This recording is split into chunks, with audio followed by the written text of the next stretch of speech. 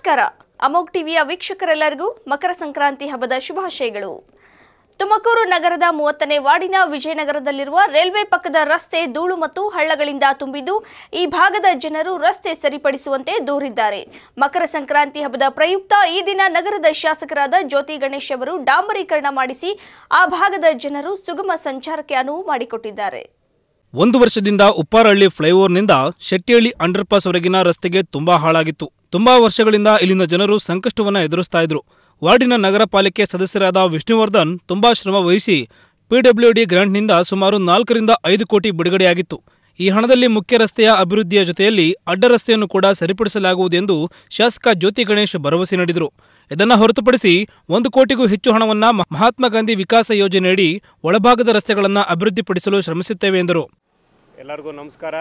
ಇವತ್ತು ಅತ್ಯಂತ ಒಂದು ವರ್ಷದಿಂದ ಬೇಡಿಕೆ ಇದ್ದಂಥ ವಿಜಯನಗರದ ಮುಖ್ಯ ರಸ್ತೆ, ಏನು ಉಪ್ಪಾರಳ್ಳಿ ಫ್ಲೈಓವರಿಂದ ಕೆಳಗಿಳಿದು ಬಂದು ನಾವು ಶೆಟ್ಟಿಹಳ್ಳಿ ಅಂಡರ್ಪಾಸ್ ಜಂಕ್ಷನ್ವರೆಗೂ ಬರುವಂಥ ಈ ರಸ್ತೆಗೆ ಇವತ್ತು ಟಾರ್ ಹಾಕಿ ಇವತ್ತು ಜನ ಸಂತಸ ಪಟ್ಟಿದ್ದಾರೆ ಒಂದು ವರ್ಷದಿಂದ ಈ ಜನಕ್ಕೆ ಸಮಸ್ಯೆ ಆಗಿತ್ತು.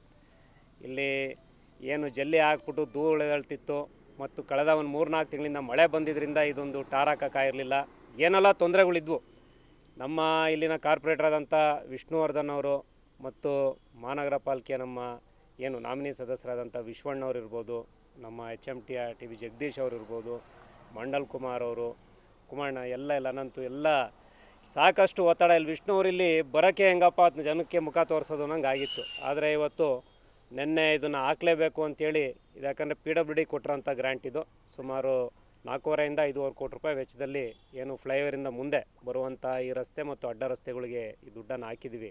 ಇವತ್ತು ಡಾಂಬರೀಕರಣ ರಾತ್ರಿಯಿಂದ ಚಾಲನೆ ಆಗಿದೆ. ಇದು ಒಂದು ಕೋಟ್ ಮಾತ್ರ ಬಿಟುಮಿನಸ್ ಮೆಕಾಡಮ್ ಮಾತ್ರ ಹಾಕಿದ್ದಾರೆ ಬಿ ಎಮ್ನ. ಇದ್ರ ಮೇಲೆ S D B C court ಮತ್ತೊಂದನ್ನು ಇವತ್ತು ಹಬ್ಬ ಇರೋದ್ರಿಂದ ಇದನ್ನು ಒಂದು ಎರಡು ಮೂರು ದಿವಸದಲ್ಲಿ ನನ್ನ ಲೆಕ್ಕ ಮುಗಿಸ್ಕೊಡ್ತಾರೆ. ಈ ಜನಕ್ಕೆ ತುಂಬ ಸಂತಸ ಆಗಿದೆ. ಇವತ್ತು ಅಗಲೀಕರಣನೂ ಕೂಡ ಆಗಿ ಇದು ಆಗಬೇಕಿತ್ತು. ಆದರೆ ಅಗಲೀಕರಣಕ್ಕೆ ತಮಗೆಲ್ಲ ಗೊತ್ತಿರೋ ಹಾಗೆ ಸುಮಾರು ಹದಿನಾರಿಂದ ಇಪ್ಪತ್ತೆರಡು ಕೋಟಿವರೆಗೂ ಅಕ್ವಿಷನ್ ದುಡ್ಡು ಸಮಸ್ಯೆ ಇರೋದ್ರಿಂದ, ಅದನ್ನು ಇನ್ನೂ ಪೆಂಡಿಂಗಲ್ಲಿರೋದ್ರಿಂದ ಜನಕ್ಕೆ ಅಗಲೀಕರಣ ಆಗಿ ರೋಡ್ ಮಾಡೋವರೆಗೂ ಇದು S S Puram main road ಬಿಟ್ಟರೆ ಇದು ಒಂದೇ ಇರೋದು ಆಲ್ಟರ್ನೇಟ್ ರೋಡು ಈ ಭಾಗದ ಜನಕ್ಕೆ. ಅದರಿಂದ ಈ ರೋಡನ್ನು ತುರ್ತಾಗಿ ಮಾಡಬೇಕು ಅಂತ ಏನು ರೈಲ್ವೆನವರು ಅಡ್ಗೋಡೆ ಹಾಕಿದ್ದಾರೆ, ಅಲ್ಲಿಂದ ಎಂಟು ಎಂಡ್ ಈ ಟ್ರೈನ್ವರೆಗೂ ಕೂಡ ನನ್ನ ಲೆಕ್ಕ ಆರು ಮೀಟ್ರಷ್ಟು ಟಾರ್ ಹಾಕಿರಬೇಕು. ಆರು ಮೀಟ್ರು ಟಾರ್ನ ಹಾಕಿದರೆ ಇದು ನ್ಯಾಷನಲ್ ಹೈವೇ ಸ್ಟ್ಯಾಂಡರ್ಡ್ಸ್ ಪ್ರಕಾರನೇ ಒಂಥರ ದೊಡ್ಡ ಒಂದು ಲೇನ್ ಇದು. ನಂತರ ಮೂವತ್ತನೇ ವಾರ್ಡಿನ ಸದಸ್ಯರಾದ ವಿಷ್ಣುವರ್ಧನ್ ಮಾತನಾಡಿ, ಈ ಹಿಂದೆ ಇದೇ ರಸ್ತೆ ಕಾಮಗಾರಿಗೆ ಸಂಬಂಧಪಟ್ಟಂತೆ ಎರಡ್ ಸಾವಿರದ ಹದಿನಾರರಲ್ಲಿ ಅನುದಾನ ಬಿಡುಗಡೆಯಾಗಿ ಕಾಮಗಾರಿಗೂ ಅವಕಾಶ ಸಿಕ್ಕಿದ್ದರೂ ಕುಂಠಿತವಾಗಿತ್ತು. ಆದರೆ, ಆ ಅನುದಾನ ಸದುಪಯೋಗಪಡಿಸುವ ನಿಟ್ಟಿನಲ್ಲಿ ಕಾರ್ಯಪ್ರವೃತ್ತರಾಗಿದ್ದೇವೆ. ಈ ಹಿನ್ನೆಲೆಯಲ್ಲಿ ಮಹಾನಗರ ಪಾಲಿಕೆಯ ಸಭೆಯಲ್ಲಿ ಚರ್ಚಿಸಿದ್ದೇವೆ. ತಕ್ಷಣವೇ ಕಾಮಗಾರಿಗೆ ಹಣ ಬಿಡುಗಡೆ ಮಾಡುವಂತೆ ಕೇಳಲಾಗಿತ್ತು. ಅದರಂತೆ ಶಾಸಕ ಜ್ಯೋತಿ ಮುಂದೆ ನಿಂತು ರಸ್ತೆಗೆ ಹಣ ಬಿಡುಗಡೆಗೊಳಿಸಿ ಕಾಮಗಾರಿ ಪೂರ್ಣಗೊಳಿಸಿದ್ದಾರೆ. ಜೊತೆಗೆ ಈ ಭಾಗಕ್ಕೆ ಒಂದು ಶುದ್ಧ ಕುಡಿಯುವ ನೀರಿನ ಘಟಕದ ವ್ಯವಸ್ಥೆಯನ್ನು ಕೂಡ ಕಲ್ಪಿಸಿದ್ದಾರೆ ಎಂದರು. ಏನು ಈ ಒಂದು ಭಾಗದಲ್ಲಿ ಸುಮಾರು ಇದು ಎರಡು ಸಾವಿರದ ಹದಿನಾರನೇ ಇಸ್ವಿಲಿ ಟೆಂಡರ್ ಆಗಿರುವಂಥ ಒಂದು ಕಾಮಗಾರಿ. ಈ ಕಾಮಗಾರಿ ಎಲ್ಲೋ ಒಂದು ಕಡೆ ಒಂದು ಮುಳುಗಡೆ ಆಗ್ತಿದ್ದದನ್ನ ಇದಕ್ಕೊಂದು ಜೀವ ಕೊಟ್ಟು ನಮ್ಮ ನಗರ ಶಾಸಕರ ಜ್ಯೋತಿ ಗಣೇಶ್ ಅವರು ಈ ಕಾಮಗಾರಿನ ಅಭಿವೃದ್ಧಿಪಡಿಸಿದ್ದಾರೆ. ಯಾಕೆಂದರೆ ಸಹ ಎಲ್ಲೋ ಒಂದು ಹಳೆಯ ಕಾಮಗಾರಿ ಇದು. ಹೊಸ ಟೆಂಡರ್ ಆದರೆ ಬೇಗ ಇಮಿಡಿಯೇಟ್ ಬೇಗ ಮಾಡಿಬಿಡ್ತಾರೆ. ಈ ತೀರಾ ಹಳೆಯ ಕಾಮಗಾರಿ ಕೈ ಬಿಟ್ಟು ಹೋಗ್ತಾ ಇತ್ತು ನಮ್ಮ ಮಾರ್ಡಿಂದ ಆದರೆ ಜ್ಯೋತಿ ಅಣ್ಣವರಿಗೆ, ನಮ್ಮ ಶಾಸಕರಿಗೆ ಈ ಒಂದು ವಿಜಯನ ಮೂವತ್ತನೇ ವಾರ್ಡಿನಲ್ಲಿ ವಿಜಯನಗರ ಭಾಗದಲ್ಲಿ ಹೆಚ್ಚಿನ ಒಲವು ಅವ್ರ ಮೇಲೆ ಜಾಸ್ತಿ ಇದೆ. ಆ ಒಲವು ಜಾಸ್ತಿ ಇರೋದ್ರಿಂದ ಮತ್ತು ಜೊತೆಗಳಿಗೂ ಕೂಡ ಅವರು ಹೆಚ್ಚು ಪ್ರಯತ್ನ ಮಾಡಿ ಪಿ ಡಬ್ಲ್ಯೂ ಡಿ ಅವ್ರ ಜೊತೆ ಸಂಪರ್ಕದಲ್ಲಿದ್ದು ಇವತ್ತು ಒಂದು ಹೊಸ ರಸ್ತೆನ ನಮ್ಮ ಬಡಾವಣೆಗೆ ಕೊಟ್ಟಿದ್ದಾರೆ. ಇದ್ರ ಜೊತೆಯಲ್ಲೂ ಕೂಡ ಏನು ನಮ್ಮ ವಿಜಯನಗರ ಸೆಕೆಂಡ್ ಮೇನ್ ಇದೆ, ಸುಮಾರು ನನಗೆ ಕಂಡಂಗೆ ಸುಮಾರು ಮೂವತ್ತು ಮೂವತ್ತು ವರ್ಷದಿಂದನೂ ಟಾರ್ ಆಗಿಲ್ಲ ಅದು. ಆ ಮೂವತ್ತು ವರ್ಷದಿಂದನೂ ಟಾರ್ ಆಗಿಲ್ಲ ಅದಕ್ಕೂ ಕೂಡ ಇವತ್ತು ಒಂದು ಕೋಟಿಗೂ ಹೆಚ್ಚು ಹಣನ ನಮ್ಮ ಮೂವತ್ತನೇ ವಾರ್ಡ್ಗೆ ನಮ್ಮ ಶಾಸಕರು ನಮ್ಗೆ ಹಾಕ್ಕೊಟ್ಟಿದ್ದಾರೆ. ಇದ್ರ ನಿಮಿತ್ತವಾಗಿ ಇವತ್ತು ಏನು ವಿಜಯನಗರ ಒಂದು ಸೆಕೆಂಡ್ ಮೇನ್ ರೋಡ್ ಆಗ್ಬೋದು, ಮತ್ತು ಇದೊಂದು ಫಸ್ಟ್ ಮೇನ್ ರೋಡು ಮತ್ತು ಪಿ ಡಬ್ಲ್ಯೂ ಡಿ ಗ್ರಾಂಟಿಂದು ಮತ್ತು ಜೊತೆಯೊಳಗೂ ಕೂಡ ಒಂದು ಶುದ್ಧ ಕುಡಿಯೋ ನೀರಿನ ಘಟಕ ಕೂಡ ಕೊಟ್ಟಿದ್ದಾರೆ ವಿಜಯನಗರಕ್ಕೆ. ಅತಿ ಹೆಚ್ಚು ಒಂದು ವಿಜಯನಗರಕ್ಕೆ ನಮ್ಮ ಶಾಸಕರು ಹೆಚ್ಚು ಅನುದಾನ ಕೊಟ್ಟು ಈ ವಿಜಯನಗರನ ಒಂದು ಎಲ್ಲೋ ಒಂದು ಕಡೆ ಆ ವಿಜಯನಗರಕ್ಕೆ ಹೆಚ್ಚಿನ ಒಂದು ಕೃಪೆ ತೋರಿಸಿದೆ ಅಂತ ನಾನು ಹೇಳೋಕ್ಕೆ ಇಚ್ಛೆಪಡ್ತೀನಿ ಇನ್ನು ಇದೇ ಸಂದರ್ಭದಲ್ಲಿ ಮಹಾನಗರ ಪಾಲಿಕೆ ನಾಮಿನಿ ಸದಸ್ಯರಾದ ವಿಶ್ವನಾಥ್, ಮಂಡಲ್ ಕುಮಾರ್ ಜಗದೀಶ್ ಕುಮಾರ್, ಗೋವಿಂದ್ ಮತ್ತಿತರರು ಹಾಜರಿದ್ದರು. Anjan Kumar, ಅಮುಕ್ TV, Tumakuru. Corona corona corona. ಎಲ್ಲಿ ಕೇಳಿದ್ರು, ಎತ್ತ ನೋಡಿದ್ರು, ಏನ್ ಮಾಡಿದ್ರು, ಎಲ್ಲದಕ್ಕೂ ಕೊರೋನಾ ಅನ್ನೋ ಮಹಾಮಾರಿ ರಾಕ್ಷಸನಂತೆ ಅಡ್ಡಿ ಬರ್ತಿದೆ. ಹಾಗಂತ ಕೊರೋನಾಗೆ ಹೆದರಿ ಮಾಡೋ ಕೆಲಸದಿಂದ ದೂರ ಇರಲು ಆಗಲ್ಲ. ಹೀಗೆ ವರ್ಷಕ್ಕೊಮ್ಮೆ ಬರೋ ಸಂಕ್ರಾಂತಿ ಸಂಭ್ರಮದ ಮೇಲೆ ಕೊರೋನಾ ಕರಿಚಾಯಿ ಬಿದ್ದಿದ್ದು. ಇದರಿಂದ ರೈತರು, ವರ್ತಕರು, ಗ್ರಾಹಕರಿಗೆ ಕೊರೋನಾ ಸಂಕಷ್ಟ ತಟ್ಟಿದೆ. ಅದ್ಯಾಗೆ ಅಂತೀರಾ? ಈ ವರದಿ ನೋಡಿ. ಹೂ ಬೆಳೆಗೆ ಖ್ಯಾತಿಯಾಗಿರೋ ಚಿಕ್ಕಬಳ್ಳಾಪುರದ ರೈತರು ಹಬ್ಬ ಹರಿದಿನಗಳು ಬಂದ್ರೆ ಸಾಕು, ಕಷ್ಟಪಟ್ಟು ಬೆಳೆದ ಹೂವುಗಳೆಲ್ಲ ಜನ ಕಾಂಚನ ಎಣಿಸಿ ಸ್ವಾಭಿಮಾನದಿಂದ ಜೀವನ ನಿರ್ವಹಿಸುತ್ತಿದ್ರು. ಇನ್ನು ಇತ್ತೀಚೆಗೆ ಸುರಿದ ಮಹಾಮಳೆಯಿಂದ ಬಹುತೇಕ ಹೂ ಬೆಳೆಗಳು ಕೊಚ್ಚಿಕೊಂಡು ಹೋಗಿ ನಷ್ಟಕ್ಕೆ ಸಿಲುಕಿದ್ರು. ಅಳಿದುಳಿದ ಹೂಗಳಿಗೆ ಉತ್ತಮ ಬೆಲೆ ಇತ್ತು.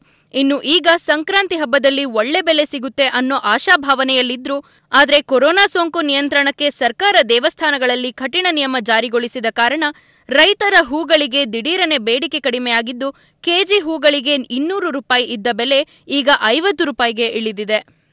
ಲಾಕ್ಡೌನ್ ಮುಂಚೆ ನೂರೈವತ್ತು, ಇನ್ನೂರು ರೂಪಾಯಿ ಇತ್ತು. ಇವಾಗ ನಾವು ಸಂಕ್ರಾಂತಿಗೆ ಹಬ್ಬಕ್ಕೆ ಅಂತ ಲಾಕ್ಡೌನ್ ಮಾಡ್ತಾ ಇದ್ದಾರೆ. ಆಮೇಲೆ ದೇವಸ್ಥಾನಗಳಿಗೆ ಪರ್ಮಿಷನ್ ಇಲ್ಲ. ಅದ್ರಗೋಸ್ಕರ ಇಲ್ಲಿ ವ್ಯಾಪಾರಸ್ಥರು ಯಾರು ಹರಾಜಿನಲ್ಲಿ ಕೂಗ್ತಾ ಇದ್ದಿಲ್ಲ. ಐವತ್ತು ಅರವತ್ತು ಎಪ್ಪತ್ತು ರೂಪಾಯಿಗೆ ಲಾಸ್ಟ್ ಆಗಿದೆ. ಗುಲಾಬಿ. ಈ ಮೂರ್ನಾಲ್ಕು ದಿವಸದಿಂದ ಏನು ರೇಟ್ ಆಗಿದೆ? ನೂರೈವತ್ತು ನೂರೈವತ್ತು ನೂರ ಅರವತ್ತು ಇತ್ತು ಶನಿವಾರ ಭಾನುವಾರ ಲಾಕ್ಡೌನ್ ಅಂತ ಇದೆ ವೀಕ್ಲಿ ಶನಿವಾರ ಭಾನುವಾರ ಅದ್ರಗೋಸ್ಕರ ಯಾರು ವ್ಯಾಪಾರಸ್ಥರು ಬಂದಿಲ್ಲ. ಐವತ್ತು ರೂಪಾಯಿನಿಂದ ಅರವತ್ತು ರೂಪಾಯಿ. ಕೊರೋನಾ ಇಲ್ಲ ಅಂದ್ರೆ ಯಾವ ಥರ ರೇಟ್ ಕೊರೋನಾ ಇಲ್ಲ ಅಂದರೆ ಒಂದು ನೂರು ನೂರೈವತ್ತು ರೂಪಾಯಿ ಇರೋದು. ಯಾಕಂದರೆ ದೇವಸ್ಥಾನಗಳಿಗೆಲ್ಲ ಇಲ್ಲಿ ಪರ್ಮಿಷನ್ ಇಲ್ವಲ್ಲ? ಲಾಕ್ಡೌನ್ ಅಂತ ಯಾರು ರೈತರು ಬರ್ತಾ ಇಲ್ಲ, ವ್ಯಾಪಾರಸ್ಥರೆಲ್ಲ. ಐಶ್ವರ್ಯ ಟು ಸೇವಂತಿ ಬೆಳೆದಿದ್ದೀವಿ. ಈಗೇನು ವೀಕೆಂಡ್ ಕರ್ಫ್ಯೂ ಅಂತ ಮಾಡಿದ್ರು. ಇದರಿಂದಾಗಿ ಸಾಕಷ್ಟು ರೈತರು ನಷ್ಟ ಆಗ್ತಾ ಇದೆ. ಈ ವೀಕೆಂಡ್ ಕರ್ಫ್ಯೂ ಎಲ್ಲ ಬರೋಕ್ಕೆ ಮುಂಚೆ ಕರೋನಾ ಬರೋಕ್ಕೆ ಮುಂಚೆ ಇನ್ನೂರೈವತ್ತು ಮುನ್ನೂರು ರೂಪಾಯಿ ಇತ್ತು ಕೆ ಜಿ ಈಗ ಒಂದು ಕೆ ಜಿ ಮೇಲೆ ಕನಿಷ್ಠ ಪಕ್ಷ ಅರ್ಧಕ್ಕರ್ಧ ಡೌನ್ ಆಗಿದೆ. ಹಾಗಾಗಿ ದೇವಸ್ಥಾನಗಳಿಗೆ ಕಂಡೀಷನ್ ಹಾಕಿದ್ರಿಂದ, ಸಾರ್ವಜನಿಕವಾಗಿ ಯಾವುದೇ ಸಭೆ ಸಮಾರಂಭ ಮಾಡದೇ ಇರೋದ್ರಿಂದ ಹಬ್ಬ ಹರಿದಿನಗಳು ಗ್ರ್ಯಾಂಡಾಗಿ ಮಾಡದಿರೋದ್ರಿಂದ ತುಂಬಾ ರೈತರಿಗೆ ತೊಂದರೆ ಆಗಿದೆ ಸರ್ ಇದರಲ್ಲಿ. ಇನ್ನು ಸಂಕ್ರಾಂತಿ ಸಂಭ್ರಮದಲ್ಲಿ ಕಡಲೆಕಾಯಿ, ಅವರೆಕಾಯಿ, ಕಬ್ಬು, ಗೆಣಸು ಸೇರಿದಂತೆ ಹೂ ಹಣ್ಣು ಹಂಪಲ ಮಾರಾಟ ಮಾಡಿ ನಾಲ್ಕು ಕಾಸು ನೋಡೋ ಆಸೆಯಲ್ಲಿದ್ದ ವರ್ತಕರಿಗೂ ಕೊರೋನಾ ನಿಯಮಗಳ ತಣ್ಣೀರು ಎರಚಿವೆ. ಬಂಡವಾಳ ಹಾಕಿ ಮಾರ್ಕೆಟಿನಲ್ಲಿ ಕಳ್ಳೆ ಕಳ್ಳೆಕಾಯಿ ಅಂದ್ರೂ ನಿರೀಕ್ಷೆಯಷ್ಟು ವ್ಯಾಪಾರ ವಹಿವಾಟು ನಡೆಯುತ್ತಿಲ್ಲ. ಮತ್ತೊಂದೆಡೆ ಅಷ್ಟೋ ಇಷ್ಟೋ ಕಡಲೆಕಾಯಿ, ಅವರೆಕಾಯಿ, ಕಬ್ಬು, ಗೆಣಸು ಸೇರಿದಂತೆ ಹೂ ಹಣ್ಣು ಹಂಪಲ ಕೊಳ್ಳಲು ಬಂದ ಗ್ರಾಹಕರು ಬೆಲೆ ಏರಿಕೆ ಬಿಸಿ ನೋಡಿ ಕೆಜಿ ಬದಲು ಅರ್ಧ ಕೆಜಿ, ಕಾಲ್ ಕೆಜಿ ಸರಕು ಖರೀದಿ ಮಾಡಿ ಹಬ್ಬ ಮಾಡುವಂತಾಗಿದೆ. ಸರ್, ನಾನು ಬೆಳಗ್ಗೆ ಮಾರ್ಕೆಟ್ಗೆ ಹೋಗಿದ್ದೆ. ಎಲ್ಲಿ ವಿಚಾರಿಸಿದ್ರು ಎಲ್ಲ ರೇಟ್ ಆಗಿಬಿಟ್ಟಿದೆ. ಪ್ರತಿಯೊಂದೂ ಹೋದ ವರ್ಷ ಇದ್ದಿದ್ದು ರೇಟ್ಗೂ ಈ ವರ್ಷ ವಿಚಾರಿಸಿದ್ರೆ ತುಂಬ ಹೈ ರೇಟ್ ಆಗಿಬಿಟ್ಟಿದೆ. ಕೊರೋನಾದಲ್ಲಿ ಏನು ತಗೋಬೇಕು, ಏನು ಬಿಡಬೇಕು ಅಂತ ನಮ್ಮ ಜನಕ್ಕೆ ಗೊತ್ತಾಗ್ತಾ ಇಲ್ಲ. ತುಂಬ ಹೆವಿ ಆಗಿಬಿಟ್ಟಿದೆ. ಆದರೂ ಹಬ್ಬ ಮಾಡಲೇಬೇಕು. ಮಾಡೋದಂತೂ ಖಚಿತ ಜನ. ಹೆಂಗೆ ಸರ್ ಮಾಡೋದು? ಇಷ್ಟು ಕಾಸ್ಟ್ಲಿ ಆಗಿಬಿಟ್ಟಿದ್ರೆ ಮಾರ್ಕೆಟಲ್ಲಿ? ತುಂಬಾ ಹೆವಿ ಆಗಿಬಿಟ್ಟಿದೆ. ಪ್ರತಿಯೊಂದು ಹೂವು ಕೇಳ್ರಿ, ಕಡಲೆಕಾಯಿ ಕೇಳ್ರಿ, ಕಬ್ ಕೇಳ್ರಿ, ನಾನು ಬೆಳಗ್ಗೆ ಮಾರ್ಕೆಟಲ್ಲಿ ತುಂಬ ವಿಚಾರಿಸ್ತಿದ್ದೀನಿ. ಏನಪ್ಪ ಹೆಂಗೆ ಮಾಡೋದು ಹಬ್ಬ? ಅದರಲ್ಲೂ ಈ ಕೊರೋನಾ ಒಂದು ಬಂದ್ಬಿಟ್ಟು ಜನಕ್ಕೆ ತುಂಬಾ ಸಾಕಷ್ಟು ಬೇಜಾರು ಮಾಡಿಬಿಟ್ಟಿದೆ. ಅದು ಒಂದನೇ ಅಲೆ, ಎರಡನೇ ಅಲೆ, ಮೂರನೇ ಅಲೆ ಅಂತ ಜನಕ್ಕೆ ತುಂಬಾ ಬೇಜಾರು ಮಾಡಿಬಿಟ್ಟಿದೆ ಕೊರೋನಾ ಬಂದು. ಈಗ ಜನ ಹೆಂಗೆ ಒದ್ದಾಡ್ತಿದ್ದಾರೆ ತುಂಬಾನೇ ಸಂಕಷ್ಟದಲ್ಲಿ ಒದ್ದಾಡ್ತಿದ್ದಾರೆ ಸರ್. ಪ್ರತಿ ಒಂದು ರೂಪಾಯಿ ರೂಪಾಯಿಗೂ ತುಂಬ ಕಷ್ಟ ಆಗ್ಬಿಟ್ಟಿದೆ ಜನಕ್ಕೆ. ಆದರೂ ಮಾಡಲೇಬೇಕು ಹಬ್ಬ. ಮಾಡ್ದಿರ ಬಿಡಕಂತೂ ಆಗಲ್ಲ. ಸಂಪ್ರದಾಯ ಸಂಕ್ರಾಂತಿ ಹಬ್ಬ. ತುಂಬಾ ಒಟ್ಟಲ್ಲಿ ಹಬ್ಬ ಹೆಂಗೆ ನಿಮಗೆ ದುಬಾರಿ ಆಗಿದೆಯಾ? ತುಂಬ ದು ದುಬಾರಿ ಆಗಿಬಿಟ್ಟಿದೆ ಸರ್ ಸಂಕ್ರಾಂತಿ ಹಬ್ಬ ಅನ್ನೋದು. ಫಸ್ಟ್ ನಮ್ಮ ಹಬ್ಬ ಯೋಚನೆ ಮಾಡಿದ್ರೆ ಈ ಸರಿ ಹಬ್ಬಕ್ಕೆ ತುಂಬಾನೇ ದುಬಾರಿ ಕೋವಿಡ್ ಇಂದ ಒಟ್ಟಿನಲ್ಲಿ ಆಚರಣೆ ಮಾಡೇ ಮಾಡ್ತೀವಿ ಮಾಡಲೇಬೇಕು ಸರ್. ಮಾಡ್ದಿರಾ ಬಿಡೋಕ್ಕಾಗೋದೇ ಇಲ್ಲ. ಖಂಡಿತ ಮಾಡಲೇಬೇಕು ಸಂಕ್ರಾಂತಿ ಹಬ್ಬ. ಒಟ್ನಲ್ಲಿ ಕೊರೋನಾ ಮಹಾಮಾರಿ ಕಡಿಮೆಯಾಗಿ ಸಂಕ್ರಾಂತಿಗೆ ಒಳ್ಳೆ ಕಾಲ ಬರುತ್ತೆ ಅಂದುಕೊಂಡಿದ್ದ ಜನರು ಕೊರೋನಾ ಮೂರನೇ ಅಲೆಯ ಆರಂಭದ ಅಬ್ಬರ ನೋಡಿ ಬೆಚ್ಚಿಬಿದ್ದಿದ್ದಾರೆ ಎನ್ ಸತೀಶ್, ಅಮೋಕ್ ಟಿವಿ, ಚಿಕ್ಕಬಳ್ಳಾಪುರ. ಶುಕ್ರವಾರ ಸಕ್ರಿಯ ಕೋವಿಡ್ ಪ್ರಕರಣಗಳು ಎಪ್ಪತ್ತಾರು ಆಗಿದ್ದು, ಮೂರನೇ ಅಲೆಯಲ್ಲಿ ಇಲ್ಲಿವರೆಗೂ ಒಟ್ಟು ನೂರ ಎಂಬತ್ಮೂರು ಪ್ರಕರಣಗಳು ದಾಖಲಾಗಿದ್ದು, ಅವುಗಳಿಗೆ ಹೆಚ್ಚಾಗಿ ಶಿಕ್ಷಣ ಇಲಾಖೆಯ ಪ್ರಕರಣಗಳನ್ನೇ ಕಾಣಬಹುದು. ಎಲ್ಲಿ ಅಂತೀರಾ? ಈ ಸ್ಟೋರಿ ನೋಡಿ. ಪಾವಗಡ ತಾಲೂಕು ವೈದ್ಯಾಧಿಕಾರಿಗಳು ಕೋವಿಡ್ ಪಾಸಿಟಿವ್ ಬಂದಿದ್ದು, ನಂತರ ತಾಲೂಕು ಪಂಚಾಯಿತಿ ಕಚೇರಿ ಸಿಬ್ಬಂದಿ ಒಬ್ಬರಿಗೆ ಖಾಸಗಿ ಕಾಲೇಜಿನ ಇಪ್ಪತ್ತೊಂದು ವಿದ್ಯಾರ್ಥಿಗಳಿಗೆ ಹಾಗೂ ಎಸ್ಎಸ್ಕೆ ಕಾಲೇಜಿನ ನಾಲ್ಕು ಮಂದಿ ಸಿಬ್ಬಂದಿಗಳಿಗೆ ಕೊರೋನಾ ದೃಢಪಟ್ಟಿದ್ದು, ಎಸ್ಎಸ್ಕೆ ಕಾಲೇಜಿನಲ್ಲಿ ಸುಮಾರು ಆರುನೂರು ಮಕ್ಕಳು ವಿದ್ಯಾಭ್ಯಾಸ ಮಾಡುತ್ತಿದ್ದು, ಈಗಾಗಲೇ ಕಾಲೇಜಿನಲ್ಲಿ ಇಪ್ಪತ್ತೊಂದು ಮಕ್ಕಳಿಗೆ ಕೋವಿಡ್ ಪ್ರಕರಣ ಕಂಡುಬಂದಿದ್ದು, ಸುಮಾರು ನೂರು ಮಕ್ಕಳಿಗೆ ಗೋಲ್ಡ್ ಪರೀಕ್ಷೆ ಮಾಡದೆ ಮಕ್ಕಳಿಗೆ ಮನೆಗೆ ಕಳಿಸಿದ್ದಾರೆ. ಇದರಿಂದ ಹೆಚ್ಚು ಸೋಂಕು ತಗಲುವ ಸಾಧ್ಯತೆಗಳು ಹೆಚ್ಚಾಗಿವೆ. ಈಗಾಗಲೇ ಮುಂದಿನ ಶುಕ್ರವಾರದವರೆಗೆ ರಜೆ ಘೋಷಿಸಿರುವ ಹಿನ್ನೆಲೆಯಲ್ಲಿ ಯಾವ ರೀತಿ ಕ್ರಮ ಕೈಗೊಳ್ಳಬಹುದು ಎಂಬುದು ಸಾರ್ವಜನಿಕರ ಪ್ರಶ್ನೆಯಾಗಿದೆ.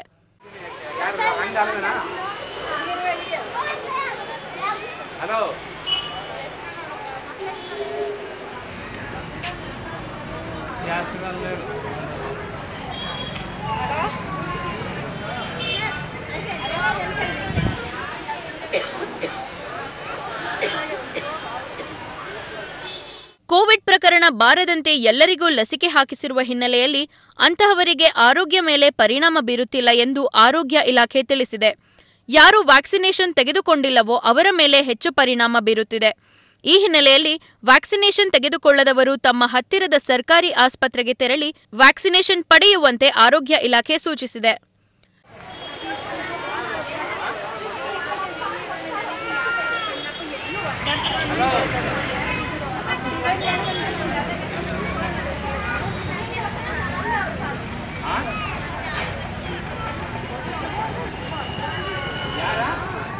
ಮಕರ ಸಂಕ್ರಾಂತಿ ಹಬ್ಬದ ಪ್ರಯುಕ್ತ ಈಗಾಗಲೇ ಪಾವಗಡ ತಾಲೂಕಿನಿಂದ ಬೇರೆಡೆಗೆ ಗೂಳೆ ಹೋದಂತಹ ಸುಮಾರು ಸಾವಿರಾರು ಜನ ಮತ್ತೆ ಪಾವಗಡದತ್ತ ಬರುತ್ತಿದ್ದಾರೆ.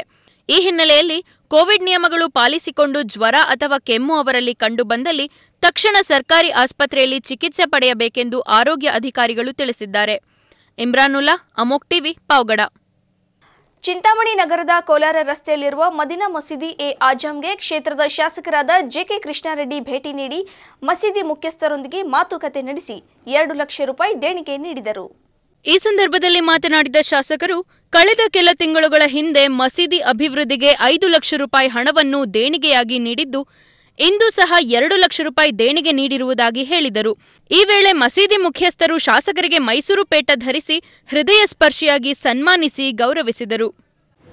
ಮಸೀದಿಗೆ ಕಳೆದ ಒಂದು ತಿಂಗಳಿಂದ ಹಿಂದೆ ನಾನು ಸಿ ಕೆ ಶೆಟ್ಟಿ ಸಾರು ಯತ್ನಾನಪ್ಪ ಸಾರು ಮೊಹಮ್ಮದ್ ಸಾರು ನಾವೆಲ್ಲರೂ ಕೂಡ ಭೇಟಿ ಆಗಿದ್ವಿ ಅವತ್ತಿನ ಸಂದರ್ಭದಲ್ಲಿ ಮದೀನಾ ಮಸೀದಿಗೆ ಸಂಬಂಧಪಟ್ಟಂಥ ಎಲ್ಲ ಹಿರಿಯರು ಬೇಡಿಕೆಯನ್ನು ಇಟ್ಟಿದ್ವಿ ಆ ಬೇಡಿಕೆ ಇವತ್ತು ಈಡೇರಿಸಬೇಕು ಅಂತ ಹೇಳಿ ಇವತ್ತು ನಾವೆಲ್ಲರೂ ಕೂಡ ಭಾಗಕ್ಕೆ ಮಸೀದಿಗೆ ಬಂದಿದ್ದೇವೆ.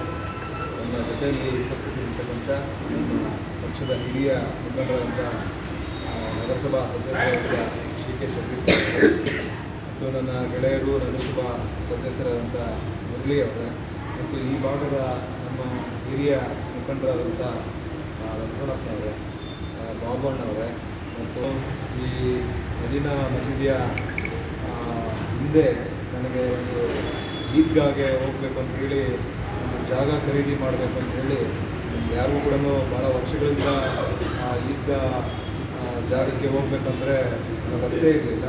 ಆ ರಸ್ತೆಗೋಸ್ಕರ ನೀವೊಂದು ಮಾಡಿಕೊಡ್ಬೇಕು ಅನ್ನುವಂಥ ಬೇಡಿಕೆಯನ್ನು ಇಟ್ಟಿದ್ದರು ಆ ಬೇಡಿಕೆಯನ್ನು ಪರಿಗಣಿಸಿ ನಾನು ಐದು ಲಕ್ಷ ರೂಪಾಯಿಗಳನ್ನು ಹಿಂದೆ ಒಂದು ಸಾರಿ ಕೊಟ್ಟಿದ್ದು. ನಾನು ಕೂಡ ಬಂದಿದ್ದೆ ನಾನು ಅದನ್ನು ಮರ್ತಿದ್ದೆ. ಈಗ ನೆನಪು ಮಾಡಬೇಕು. ಹಿಂದೆ ಒಂದು ಸಾರಿ ಕೊಟ್ಟಿದ್ದೆ ಅಂತ. ಕಳೆದ ಒಂದು ತಿಂಗಳ ಹಿಂದೆ ಶಬರಿ ಸರ್ ಅವರಲ್ಲಿ ನಾವೆಲ್ಲರೂ ಕೂಡ ಬಂದಾಗ ಕಾಮಗಾರಿ ನಡೀತಾ ಇದೆ. ಇದಕ್ಕೆ ಏನಾದರೂ ಒಂದು ಮಾಡಬೇಕು ಅಂತ ಹೇಳಿದಾಗ ನಾನು ನಮ್ಮೆಲ್ಲ ಹಿರಿಯರಿಗೆ ಒಂದು ಭರವಸೆಯನ್ನು ಕೊಟ್ಟು ಹೋಗಿದ್ದೆ. ಈ ಸಂದರ್ಭದಲ್ಲಿ ಪರಿಶಿಷ್ಟ ಜಾತಿ ಜಾತ್ಯತೀತ ಜನತಾದಳ ಜಿಲ್ಲಾ ಉಪಾಧ್ಯಕ್ಷರಾದ ಜಿವಿ ಮೂರ್ತಿ ಎಸ್ಟಿ ಸಮುದಾಯದ ನಗರಾಧ್ಯಕ್ಷರಾದ ಅಕಲು ಸುಧಾಕರ್ ಮಸೀದಿ ಅಧ್ಯಕ್ಷರಾದ ಸೈಯದ್ ರಹೀಂ, ಕಾರ್ಯದರ್ಶಿ ಆದಂ ಶಾ ಸಾಬ್, ಉಪಾಧ್ಯಕ್ಷರಾದ ಜಿಟಿಎಸ್ ಗುಲ್ಜಾರ್ ಮತ್ತಿತರರು ಉಪಸ್ಥಿತರಿದ್ದರು. ವೆಂಕಟಾಚಲಪತಿ, ಅಮೋಕ್ ಟಿವಿ, ಚಿಂತಾಮಣಿ. ಇದಿಷ್ಟು ಈ ಹೊತ್ತಿನ ಪ್ರಮುಖ ಸುದ್ದಿಗಳು ನೋಡ್ತಾ ಇರಿ ಅಮೋಕ್ ಟಿವಿ ಎಂದೆಂದಿಗೂ ನಿಮ್ಮೊಂದಿಗೆ.